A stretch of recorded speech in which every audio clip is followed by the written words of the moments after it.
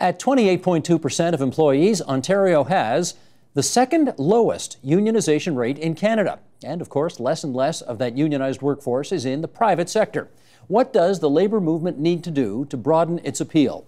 Joining us now to help answer that, Yasir Naqvi. He's Ontario's Minister of Labour and the MPP for Ottawa Centre.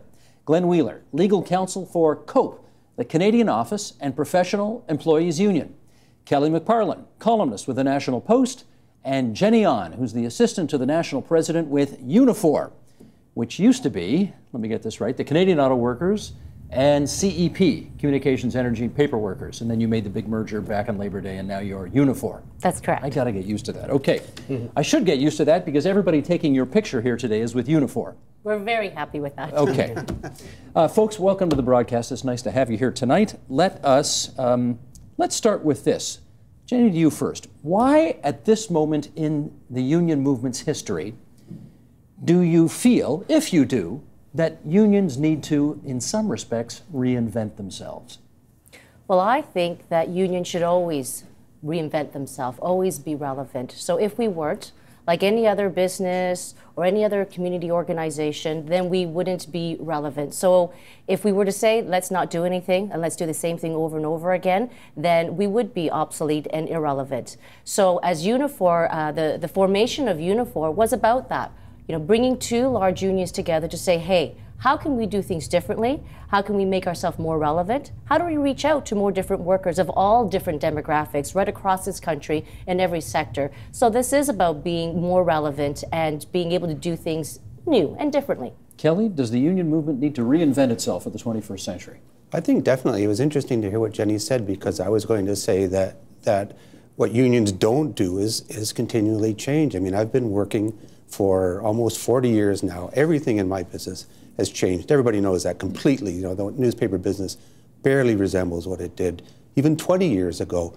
But when I look at, at uh, union websites and their constitutions, of which I have one here, um, it reads exactly like it did when I was 20. It's still about, you know, big, greedy, power-hungry corporations and, and dirty bankers crushing the little man. And I just, I don't really think that's what bankers do all day, and I don't think that's what corporations do all day. And I, and I think unions would really do themselves a favor by getting over that and changing with the work environment. Because the work environment changes. You can't stop it. It's going to change. You have to change with it. But you know, I think they got to change the attitude so they have. At the very least, modernize the language or the sense? Well, I don't think the language is enough enough because that represents the attitude and that filters down the way they treat uh, the workplace, the people they're trying to sign up, and their attitude to management. And I just think you've got to get over this confrontational attitude that it's always us versus them and it's our way or strike. It's not always like that, but still, that kind of language reflects that kind of attitude. Okay.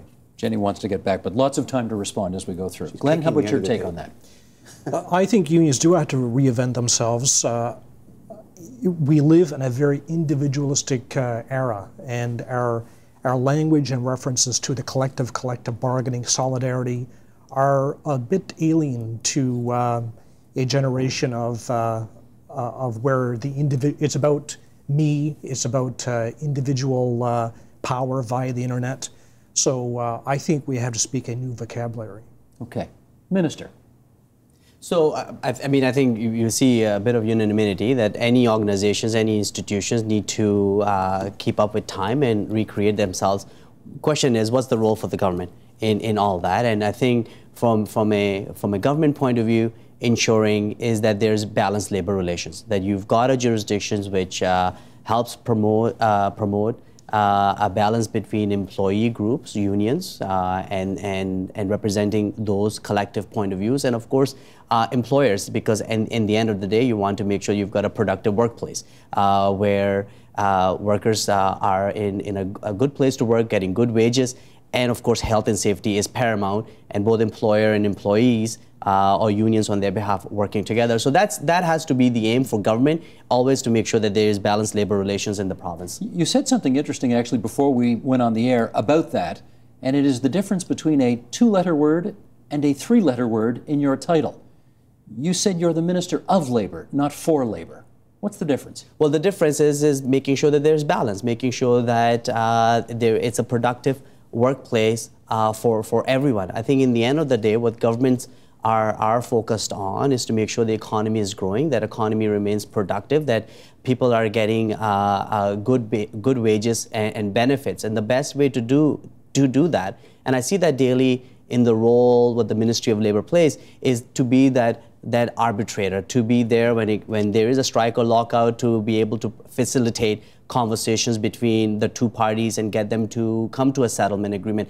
So the, the balance part is, uh, is very important. Uh, and hence, I think the difference in title that as Minister of Labor, your job is to make sure that uh, labor is healthy, labor has uh, good paying jobs, and both employers Although, and employees are working together. You know what she'd say, which is, sorry to put words in your mouth here, but she'd say probably everybody else in cabinet is the minister for business, so why can't you be the minister for labor? Well, I, again, I think uh, I think everybody uh, wants to make sure that there is uh, uh, the balance is key because the, the point one has to remember is is the the role of a minister of labor. The role of the minister of labor is to make sure that the systems in place uh, that is uh, collective bargaining takes place in a fair manner where both parties can work together, negotiate, and come to a settlement. Those are the best agreements. You don't want a third party interfering in that process. So that's why the Ministry of Labor's uh, uh, role, and, and these folks will tell you in, in, a difficult negotiation, is to provide that neutral uh, mediation or conciliation Which services. Is why you can't be the Minister for Labor, you got to be of. You got to got be, it. yeah. Jenny, let me give you a chance to go back at Kelly here on his initial comments that a lot of your language reflects a mindset that is 100 years out of date. What's your view on that? Well, it's still the same language. It's in English, so I don't think it's actually changed. I do think that there is a. Uh, a different sense of how we can do things. And I think that that, that was happening even before the creation of Unifor. Approximately 97% of our collective agreements, for example, are settled without a strike or a lockout. But what we hear most often in the mainstream media is the pictures of, of, of workers going out on strike, which is very rare when you think of the statistics right across the country and in this province. But of course, there is a stereotype, there is a portrayal. But when you come out uh, into a union function and different things, yes, there are some traditional words that may be used, but it is changing. We're not, uh, you know, ignorant of, of who our members are and, and how things are changing. That we are looking at new technology, for example, demographics are changing, diversity within our membership is changing because it's obviously reflective of the population. Remember, unions don't pick our own members. It's the employers that hire that end up becoming union members. And there is no need for confrontation. Um, we don't advocate for confrontation unless it's, it's needed. And sometimes, you know, maybe cooler heads need to prevail, but it's often because there are great things at stakes at stake. You know, when you're talking about wages and benefits, for workers to have the ability to put food on the table, to pay their rent or their mortgages and things like that, then these are big stakes issues that often, if uh, if there are problems, then people will get confrontational. Okay. Let me but get, generally, they don't. I let me say. follow up with Kelly, and as we bring the conversation from, say, the language of a long time ago to last week. Two by elections in the province last week Conservatives winning one in Thornhill, NDP winning one in Niagara Falls. Do you think the outcome of those two by elections uh, may have some influence on the conversation about unions in Ontario today? You know what? I always think by elections don't mean all that much. I think they're so specific to the situation and, and to often to local situations that I don't know how much they reflect on that. Something else that happened last week that I do think was interesting was a vote in Tennessee. Uh, where the United Auto Workers were trying to unionize the Volkswagen plant. Now, that was the number one priority. And they voted no. They voted no. Number one priority of the, of the president of the UAW spent years trying to do that. They voted no. And when they, when they talked to the workers after that and they said, why did you vote no? Because most of them had signed the cards pre previously. A lot of them said, because we were afraid it would, uh, it would uh, hurt the, uh, the culture of the, of the workplace. It would become more confrontational, more aggressive. And they were worried about Detroit. They said, we looked at Detroit, we saw what happened there. Unions were there. It wasn't entirely their fault in Detroit, but they were certainly there. And I think that reflects what people think of unions. I'm sure unions try to change. They want, you know, obviously want to do their best for the for the worker, but that attitude is there, and people see it. I think a lot of people are afraid of. it. I'm not sure, Steve, that uh, that the U.S. South is a is an analogy for uh, for Ontario. And I think the interesting thing, one of the interesting things about uh, Mr. Hudak's uh, problems, is that uh, there isn't a lot of corporate support. There isn't.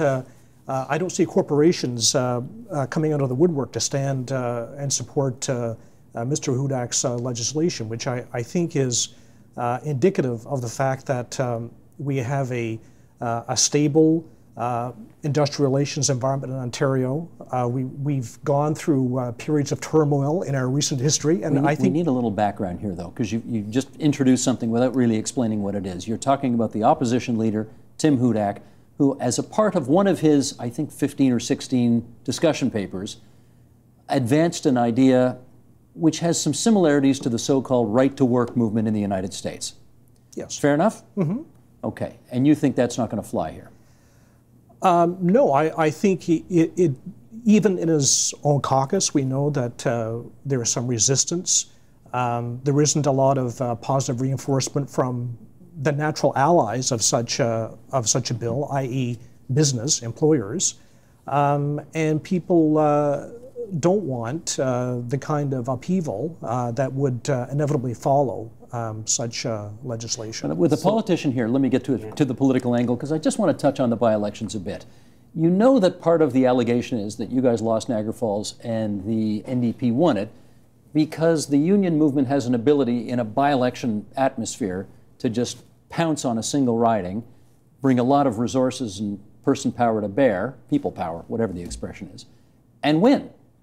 Is that what happened? Well, I'm a firm believer in democracy, and in the end of the day, people decide. Uh, and, and people in Niagara Falls decided uh, to vote for one candidate over the other two candidates. And you can cut that into different, uh, any different way as to why that happened. But is it a reflection of union power?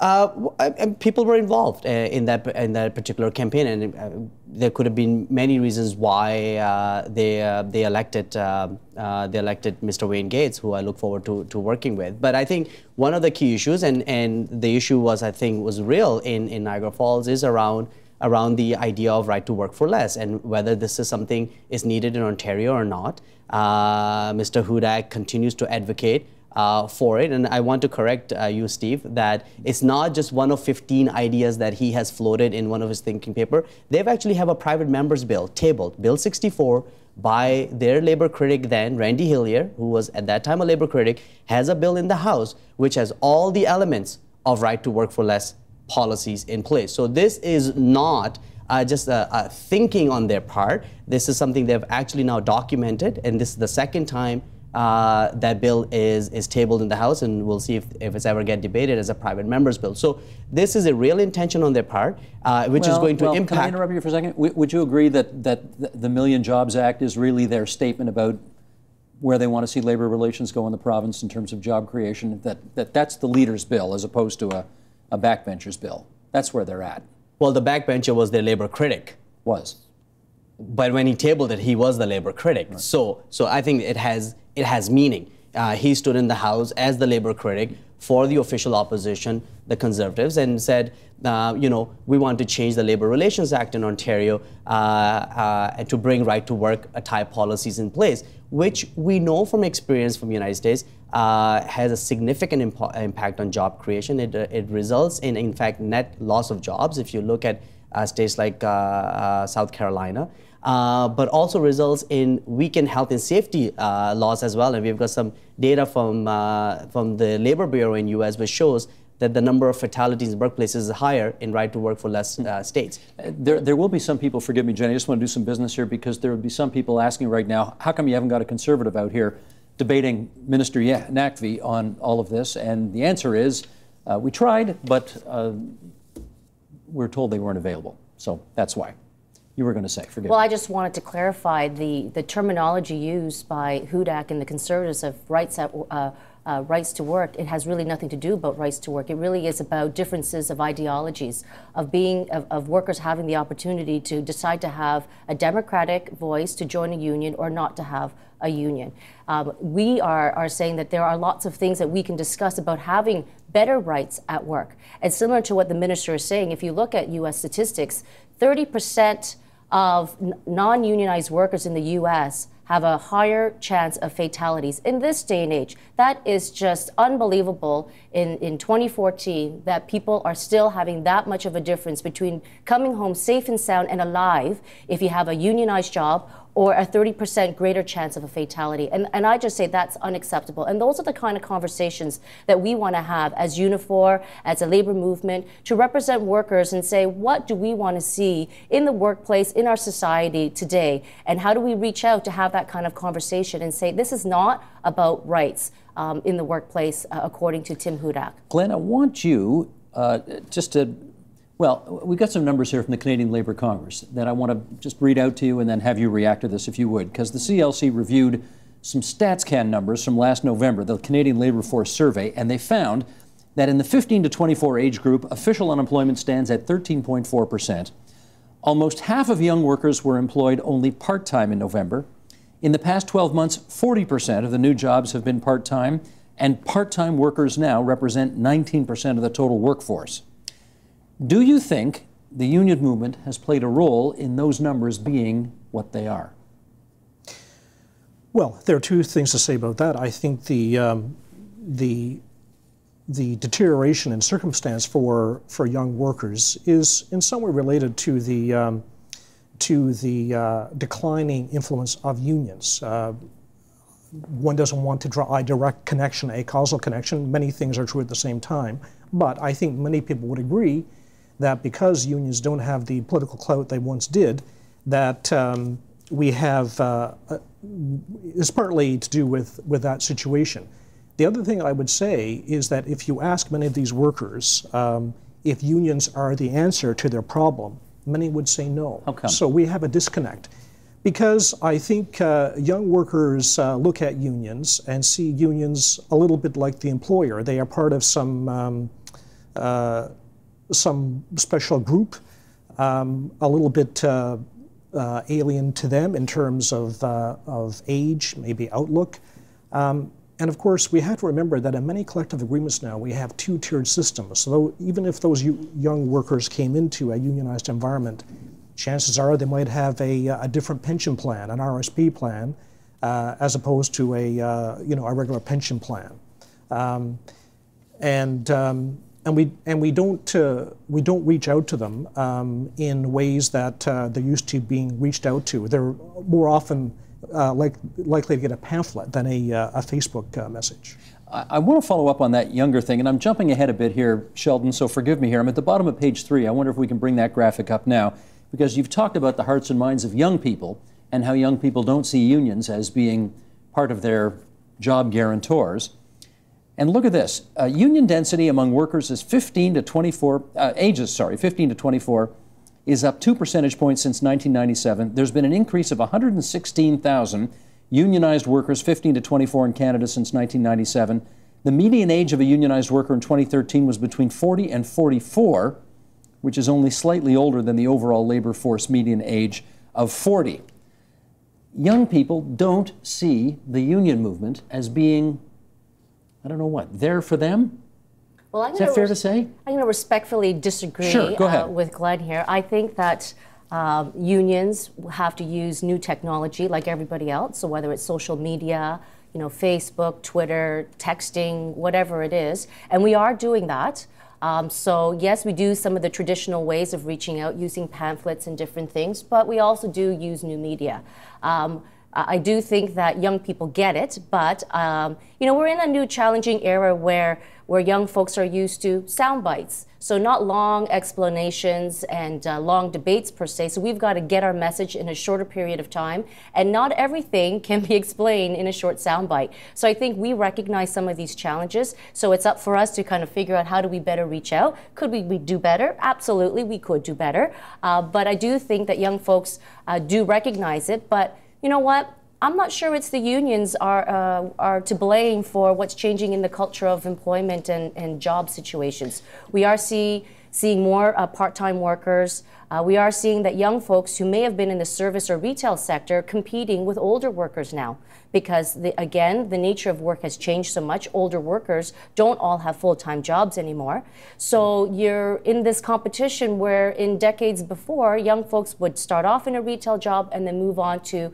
most likely full-time employment. And I don't think that's happening today. Okay. So there is a bit of a you know, some tough, some tough uh, uh, life ahead of young folks saying, how can I make my improvements? But did you know, for young workers who belong in a unionized workplace, they can make almost $6 more an hour. It's about $5.53 uh, cents across the country. So for young workers, if you want to make a difference, I say see if there is interest to join a union because you could make better wages and hopefully uh, ben uh, benefits was, as well. If that was the case, though, why aren't the young workers beating down the doors to get in? Why do you have to go out there and, and get them? Why do you need Facebook and all those other situations? If I think the, the figure used at the beginning was 27 or 28 percent membership in mm -hmm. Ontario in unions, if it's that low and you're having to drag them in, if the situation is as bad as described, you know, the economy and, and the, the banks and everybody out to get them, they should be coming to you. They should be lined up outside so the door. Why do you think young people are less interested in joining a union today? Because of what I said at the beginning. I don't think the unions have changed in 80 years. I think that they're still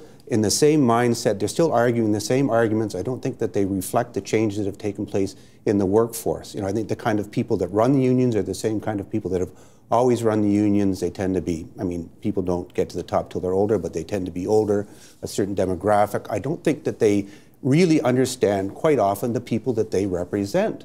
Um, and you can see it still because uh, uh, management labor uh, uh, relations are still pretty much as they've always been. It's, you know, we go into these negotiations, we talk about, you know, toilet breaks and this kind of stuff. How many kids that have been raised on a computer are concerned about, about uh, toilet breaks or arbitration or, or grievance procedures. I just don't think that it relates at all to this generation. Can I ask you, uh, you ever belonged to a union? No, I have, no, I have not. Because you're, you're one of the youngest guys in the legislature, mm -hmm. so you're kind of of that new generation, yeah. if I can put it that way. Do you think union membership speaks to people who are your age or younger? Well, so I mean, anecdotally speaking, uh, talking to uh, to to my friends uh, who belong to union, may not belong to union, I think th there is an element for taking it for granted. Right, a lot has been done. A lot of the heavy lifting uh, has has been uh, done in the in the past by by previous generations. So there is that element that uh, people just take all all the benefits they have or a pension they may have uh, for granted. So there's one challenge. And my, my analogy I will use, something similar, is political parties, right? We've had this conversation before. We see the same notions where young people do not want to get involved in organized political party. They don't want to uh, be more engaged in running for public office at any level or be out there volunteering in a campaign. You, you see the similar, uh, similar challenges there. And I think part of the reason is the society is changing and uh, you know, we are getting more busier and busier with different yeah, things that we do. but I see more kids getting involved in provincial or federal or municipal politics than I do in union politics. I just do. There's something about the union movement, and I don't know, maybe this is a part of it. Let me read this. Before no, no, no, hang on. You know what? I want to quote you to you. Because oh. you did a piece in the Toronto Star about this, and I wonder whether this is part of the explanation. I'm going to read a, a little excerpt from your article here and then get you to comment. Certainly, seniority is sacred among union militants, but the principle doesn't sit nearly as well with a generation raised on the importance of individual merit. Rather than something to cherish, younger workers see seniority based promotion as the root of union fostered unfairness that rewards oldsters who get the gig merely by sticking around. Is that part of it? It is part of it. Um, I think that um, obviously seniority uh, is one of our, our core values. It doesn't translate very well um, because it's based on a time when people would uh, have how many jobs during their lifetime? Maybe one, two, three. Now, um, people don't stick around for the gold watch. Uh, they look ahead at their working life and think that I'll be in this job four years, I'll be in another job five years. It's a different environment, so there isn't the same investment in a position, and seniority um, doesn't play the same role in, in modern working life as it did in industrial uh, life of, uh, of decades ago, um, where it, it was developed. Jenny, how do you convince a 25 year old that you care as much about her future in the union movement when push comes to shove? Seniority means you're always going to favor the worker who's 30 years older than her. Well, I'm going to um, say, hey, I was one of those uh, young folks. Uh, I got involved in the in the union um, in my early 20s. I got elected into the union when I was 24, and uh, I think that we are um, devaluing what young people think. I do think that young people uh, care about one another. There is a respectfulness of looking out for those who have been there before, for elders and, and things like that. I think that seniority is one of the basic principles, but you don't have to be an oldster. I mean, I guess then I'm considered an oldster. And I'm, let's just say, without saying the age, probably in the same bracket as the minister here. And, um, and the thing is, is that, hey. Are you this 40 is, yet? 41 now. You're 41. So yes, might, might be bang on actually. Okay. Um, so I mean, I'm one of these young people that got involved, and I think that there is a mutual respect for knowing if someone's been there before. Being in in a position also means that you've had the experience. So you could be in varying age groups. Uh, not saying that you have to be old. I also want to challenge our system in saying, why is it okay that people think that I'm only going to work in one workplace for three, four years? Why can't we have some hope out there that says, hey, I like where I'm working. Why should the company have to retrain new people constantly spending money unnecessarily? If I've got a good worker, let's keep that person here and keep that person working for a longer period of time. Uh, maybe 10 years, maybe 20 years, so on. And I think there, there is something wrong in the nature of work that we should say that is unacceptable. And how do we change that rather than saying, hey, this is the way it is now? I'm going to ask a cheeky question of Kelly over here. What's your wife do for a living? She's a teacher. Unionized? Yes. Which board? Uh, Catholic Teachers Union. Okay, she's- Elementary she's school. OECTA, Ontario English Catholic Teachers? Yes, that's right. yeah. Okay. Does she like sovereignty? Uh, I was going to say sovereignty. Uh, That's another issue. It's a little Freudian slip there. Seniority? Um, you know what? I'm, I, I doubt it, um, although she benefits from it. Um, but it is hard to defend. I mean, it's one of those things that if you're one of the lucky people who's benefiting from it, it sounds great. Um, but you also see people that you work with who are younger and maybe deserve a better, uh, to move up faster, and you know they're not going to. And, you know, I think a lot of union members, a lot of teachers are aware of the restrictions um, that are on people in their in their uh, professions that come from being a member of a union. You know, you, you gain certain benefits, but you give up a lot for that. Seniority means that a bad teacher can be a bad teacher for a long time, and it's hard to get rid of them. Although there's more flexibility in the system than people usually allow for. I mean, hmm. principals know how to get rid of bad people. What's your um, view on seniority as a means of, you know, obviously seniority has its place, but there are more people, it seems to me, who are arguing today that seniority is more important than merit in the union movement, and that's a problem for those people. Well, again, I think this is uh, this is something that uh, that needs to be decided within within the union movement. Um, also, this is an important part of collective agreement when you when you're looking at uh, benefits uh, uh, down the road or who will get uh, what not.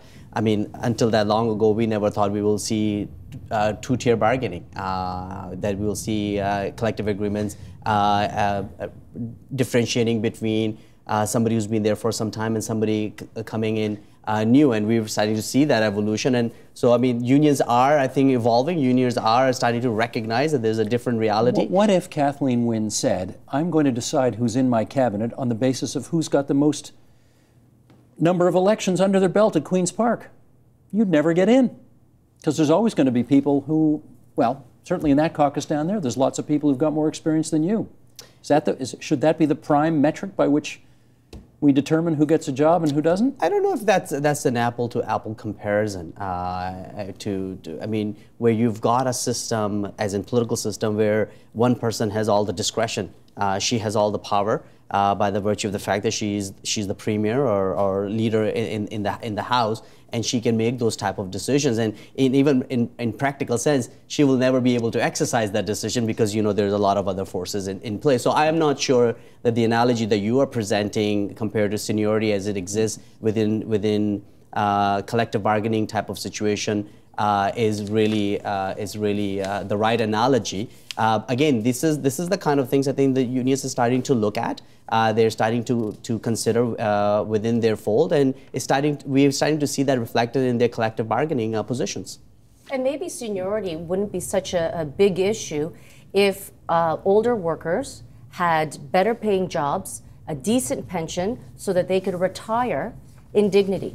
But what we're seeing is older people staying longer, Um, in the situation with teachers, for example, they may retire or they may have to come back, work part time, may have to supply, teach, and other things like that. If our seniors, our older workers, were able to retire with a good pension, with dignity and respect, then they would have more positions for the younger people to take those jobs. I'm glad you. I'm glad you raised that because I want to. I want, I to ask you something based on that because it, it seems to me we've gone from what it once was in this province, which was boy, they've sure got a great pension. I want one of those too.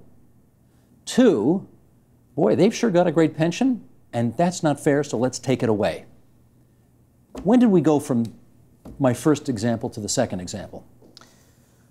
Well, because uh, it feels like that's where we're at right now. I think there's I I think there is that uh, animosity uh, rather than uh, wanting to bring us all up to that better level um, we look at uh, those who have it better than us with, with some resentment. Um, and uh, and that's, that's a problem for, for unions because uh, we are often seen to be uh, the agents of those who already have it pretty good. Um, which is not the which is not the reality. We have many people in uh, in very modest uh, very modest jobs, um, and um, so it's a, a bit of a caricature uh, of the reality, but it is it is a um, it is a, an impression out there, and the fact that there is the impression means that there is a problem for us, whether it's true or not. Do you think it's true? I think that um, when that changed was when people began to realize that it was not sustainable to provide those those pensions. I think everybody would love one. Obviously, who wouldn't want one? Um, but in the private sector, at least, we realize that because economies are unpredictable, because funny things happen to them, because people who manage pensions aren't always as smart as they should be and don't always make the best bets. Uh, quite often you pay into something for a long period of time and at the end you don't get what you expected to have and the mm-hmm. companies couldn't afford it and so they can go bankrupt as a result that doesn't happen in the public sector because the taxpayer pays for it and i think that's where the resentment comes from i don't think it's because people dislike people who have a good job or a good pension it's because they realize they're paying for somebody else to have something that they can't possibly have themselves. And I think that needs to be balanced. I think the, the public sector needs to recognize that, that not everybody uh, can afford what, what they've been uh, lucky enough to receive. Do you recognize that? And I think that's why we have to resist the temptation of having the conversation, which is us versus them. You know, going for that that that the uh, the sort of the low wage economy where or going for the, the lowest denominator versus building things up. And I think this is one of the bigger bigger challenges uh, that uh, I and the government has with the right to work for less because it really sort of uh, takes you down to a point where everybody's competing for those those low wages as opposed to saying, you know what, let's invest uh, in, in our society. Let's invest in, in good skill sets. Uh, let's make sure that everybody uh, gets good wages, uh, good good benefits. That's a different way of building an economy versus uh, uh, let's let's uh, you know take away people's rights from a from a from a unionized workplace or, or otherwise, uh, and then you you are competing with the likes of in Indiana and and North Carolina so, because it may be today because what tomorrow for the same low wage economy will be competing with India and China. Okay, I mean, let me just I want to make sure I understand here. So your position is going forward, the government of if if going to be an election in the spring probably if you win the election, a Kathleen Wynne government would never put new hires in the public service on defined contribution pensions. It will always be defined benefit pensions. Well, yes? I, well, I, again, I can't speak to as to what maybe the terms for for negotiations uh, uh, may be, but I think the, the the the point is that the point is that there is an and and a narrative right now in, in our in our province, and it may be true across the country, but I can speak for Ontario, where I think people are saying, well, you have a pension and I, I don't, and uh, instead of saying I want to have a pension as well, be it defined contribution or defined benefit, uh, the the conversation that's being geared towards, especially by the conservatives, is uh, let's make sure the other guy does not have that that the same kind of pension, and I think that's that's a false direction to go in as opposed that's to looking the, at. Well, with respect, that's half the conversation. Part, part of what they're saying also is any new hires in the public service get a pension, but they don't get the A1 pension that people have been getting up until now because we can't afford those anymore. We're going to get the B2 pensions, if you like, right? Defined contribution as opposed to defined benefit. Are you saying that the Liberal Party, in disagreeing with that, stands for the A1 pension going forward? Well, I th- what, what I'm going to say is that we want to make sure that, of course, we are always operating within our fiscal means, and that's always important point in, in any in any place where you're negotiating. So you may agree with the conservatives at the end of the day that you can't afford these better pensions. Yeah, but uh, no, I, I disagree because uh, uh, their approach is, is, is different. I mean, their approach with, with the right to work for less uh, a type of laws, and you've got uh, the RAND formula that they, they want to strip away, which, by the way, they're going to probably run into huge constitutional challenge around that. There was a decision just came out two weeks ago, the Bernard decision from Supreme Court of Canada, which reaffirmed the constitutionality of the RAND formula. Just take 30 seconds, remind everybody what that is, the RAND formula. The RAND formula basically uh, uh, prescribes that if even if you are a not a union member, but if you're a part of a bargaining unit, if you work at a workplace which is unionized, then you have to pay union dues because you benefit from uh, any uh, any uh, agreements that the union was No able free to. riders. No free riders, exactly, and and big part and parcel, and Bill 64 as well, which I mentioned that the the conservatives have put forward, uh, takes away uh, that that particular right, uh, and there's a huge challenge around constitutionality uh, around that as well. Did you hear a commitment from him just now that um, public sector workers who will be hired in the future will get the kind of pension benefits that you would like to see them get? I don't know if I exactly heard that, but I think there's a recognition that obviously there's uh, negotiated settle- settlements that need to take place with employers, if it's the government or a corporation, and with the workers uh, represented by their union, which we believe is the best way. That a negotiated settlement with the parties concerned is always better than being legislated back or being arbitrated if you don't need to do that, because then, of course, you've got the parties that are in agreement. Even if they, they're not all 100% happy, at least they're negotiating together to come to some kind of resolve. Because when negotiations is all done, everybody has to go back to work. Right. So if you're able to negotiate something together, then at least it's that much smoother inside the workplace. Because that's really our ultimate goal. Despite what Kelly might have said around, you know, workplaces and uh, and jobs being lost perhaps with unions, I would disagree with that. That there is no goal of any union to say that uh, a company should not be viable, should not be doing well, because then we would just be, uh, you know, shooting ourselves in the foot. We want the jobs to stay. We want employers, companies, businesses to be profitable and doing well because that also means jobs for our members and for families. So uh, we're always trying to figure out different ways, being part of solutions and conversations to come up with things to say, hey, maybe we should look at it in this way or in that way. But at the at the end of the day, unions don't run uh, the company. Uh, we can always suggest things, but uh, we're not the ones that make the ultimate decisions of a corporate plan, for example. But we always want the, the workplace to, to survive, but we just want a bit more of the share of the pie. The key is what's the rules of the game, right? And if you've got rules of the game for, that allow for that that respectful, good faith negotiation, collective bargaining nego- negotiations take place. Of course, both sides will have their mandate as they always are, and they'll bring it to the table. I think the essential debate we're having is what happens if you change the rules? Uh, is that balance still in place? Is it going to allow for that good faith bargaining to take place? Well, you say And- balance, but of course, there's lots of people in this province who think that you guys have got the balance wrong, that you're too deeply in labor's hip pockets, and that the balance, as it were, needs to be moved more to what they would see as the middle. Thus, this new discussion paper from the Conservatives. You and a private members bill. and the private members bill.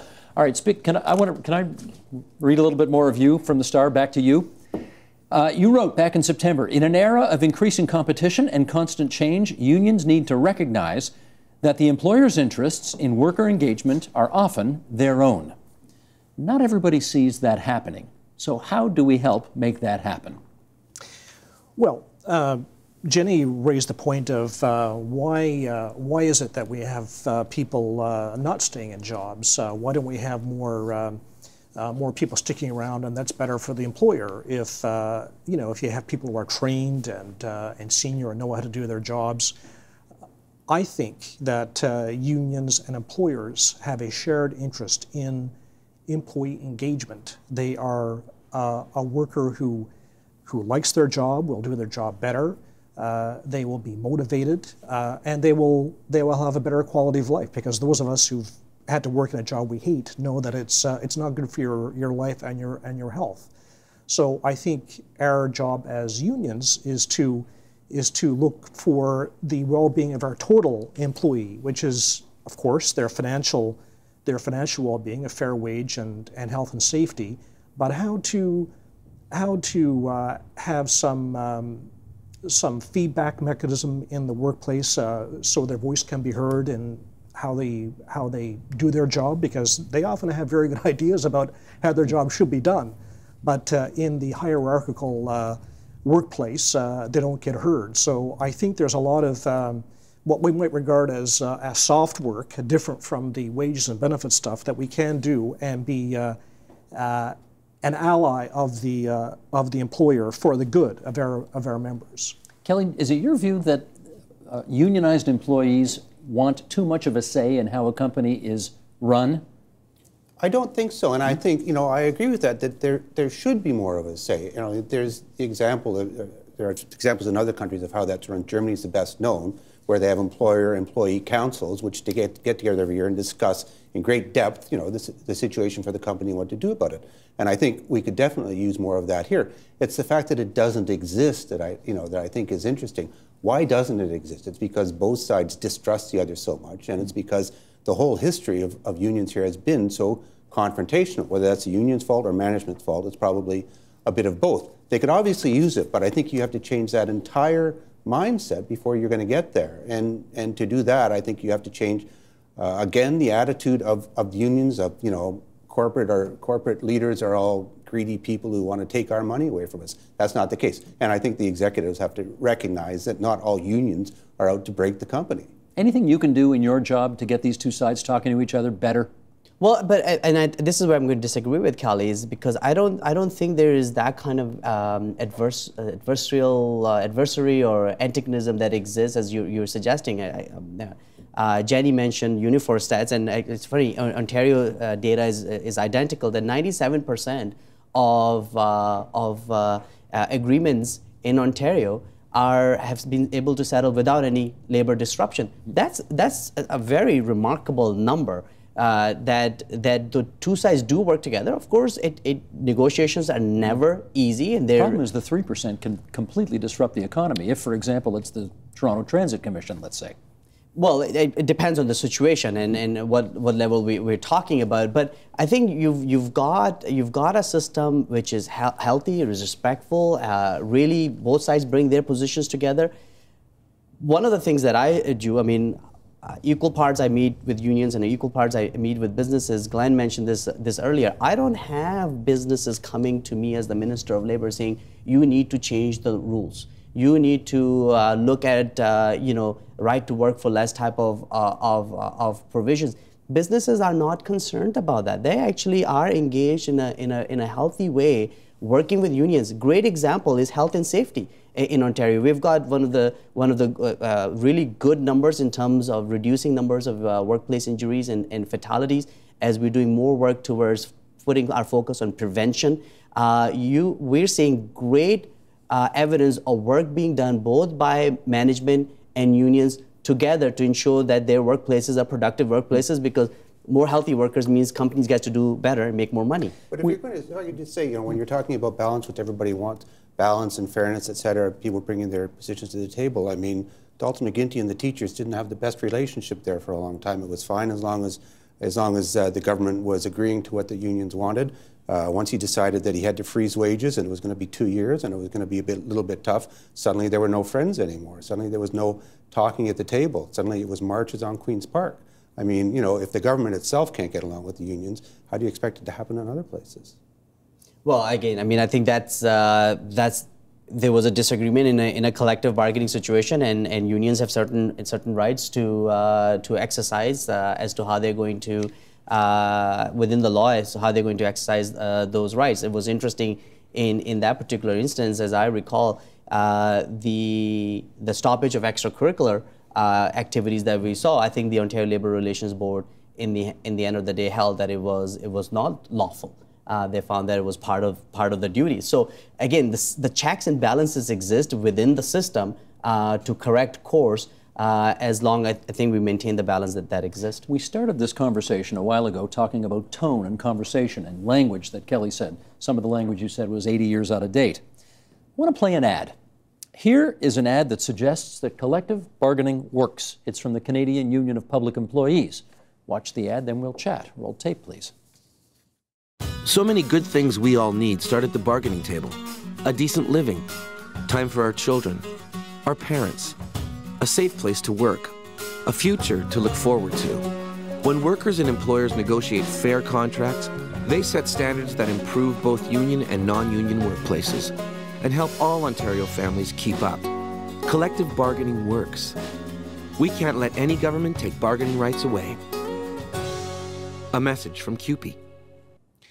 Uh, Kelly, that's a long way from we're going to grind those capitalist running dogs into the gutter. You know, that's is. that's a, a you know quite a sweet soft sell approach, if you like.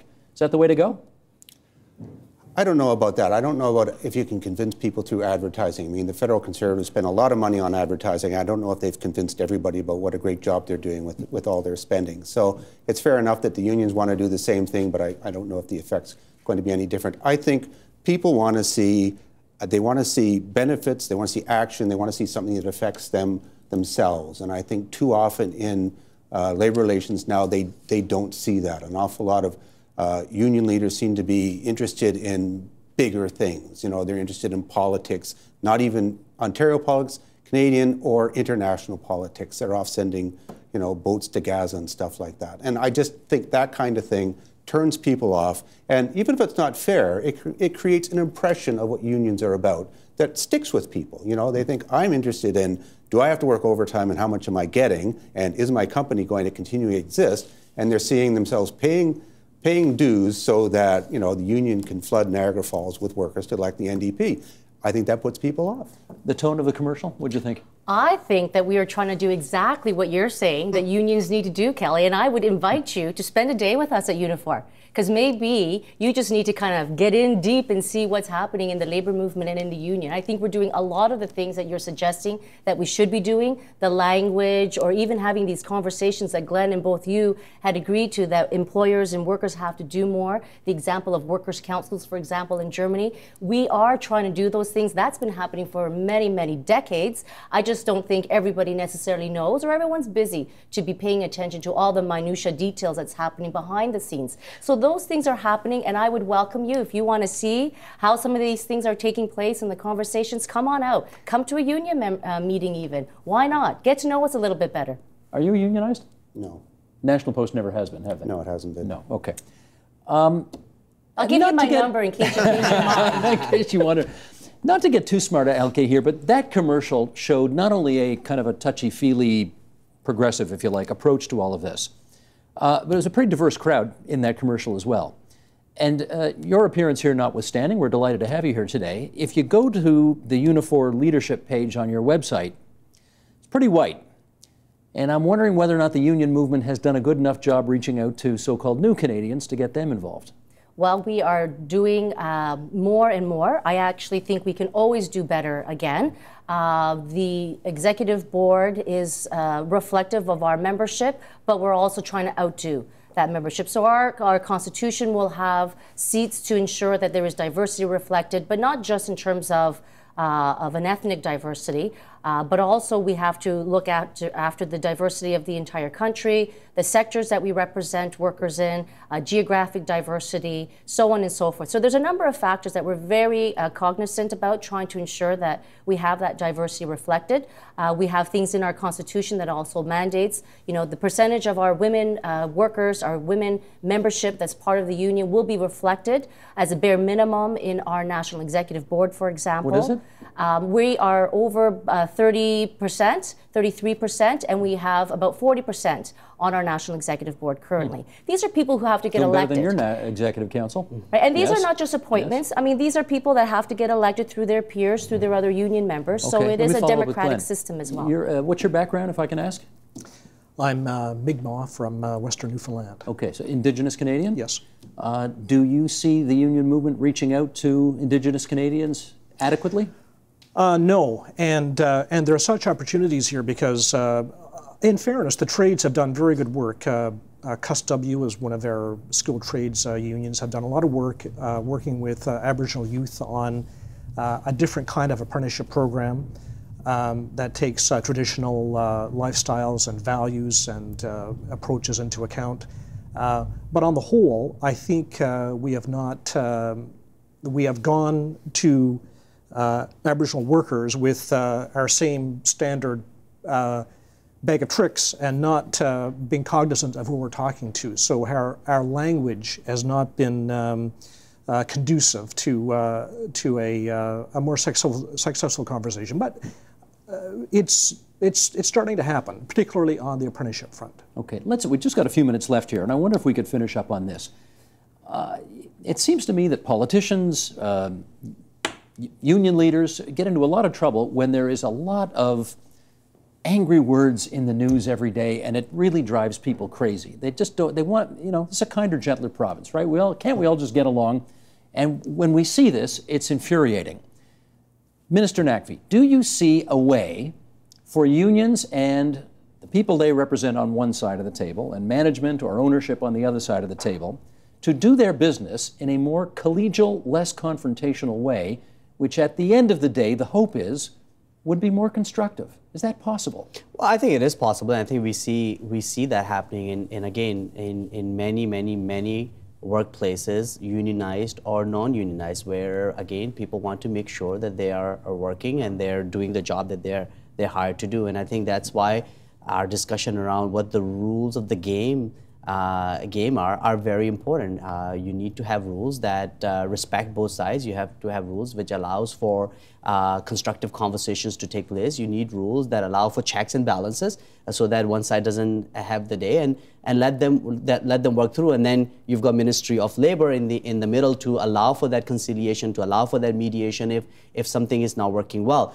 Uh, I think that's that's the essence of collective bargaining. That's uh, the good faith bargaining aspect of it has been recognized by the Supreme Court.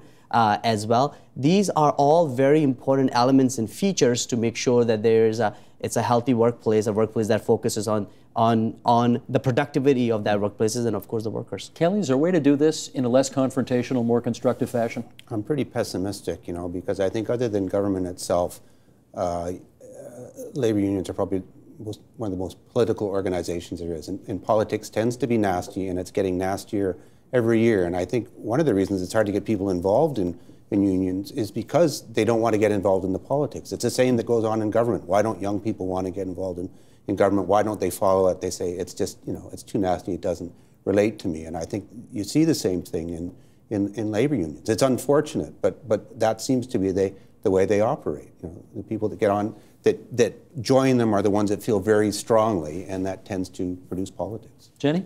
So I think it's kind of interesting because I'm a, a more of the optimist, the half glass full. And folks might say, as a trade unionist, that we're usually the pessimists. We're usually wanting more and, and saying that the glass is half empty. So it's kind of this role reversal that we're having today. I think that um, you know we are generally getting uh, along. I do think that similar to what the minister is saying, that we are uh, having respectful dialogue. No, we don't have to agree all the time, but there is respectful dialogue that's taking place. I don't think that our educational systems, like for myself, I never learned about unions at all. I learned about it once I went into work and I happened to be in a, in a unionized workplace. If I didn't but go I'm into a unionized workplace. I'm trying to see whether or not there's an avenue here to get away from all the demonization. I hear politicians demonizing union members, I hear union leaders demonizing politicians, and it just doesn't feel constructive. Is there a way around that? So I, I believe that young folks actually have to learn about the unions to start off with because if they don't know about it, they go into the union, they have problems, then there could be some, you know, confrontations if there's issues. I think people need to learn about that. But I do think that politics are an important piece of anybody's life.